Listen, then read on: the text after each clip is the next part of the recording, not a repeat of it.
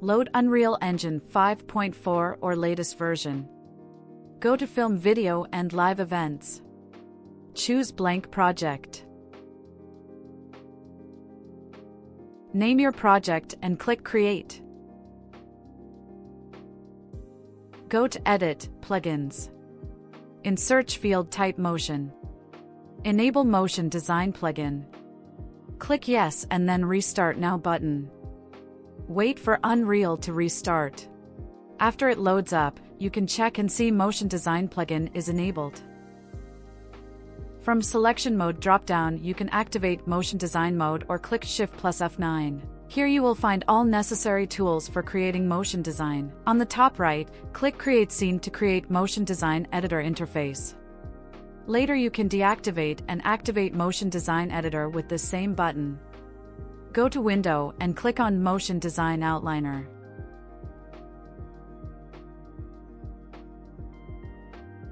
Also open Operator Stack as you might need to add modifiers and animators to your motion design project.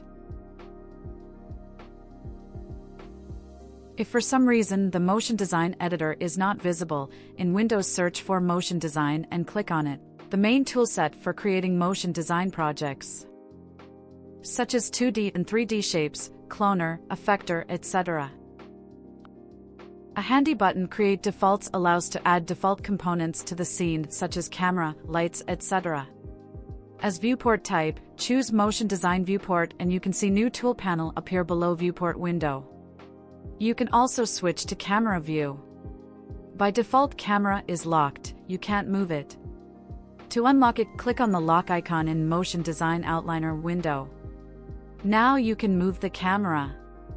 To exit Motion Design mode, click Deactivate Scene button on top right.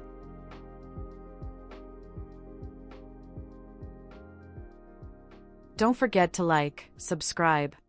Sooro.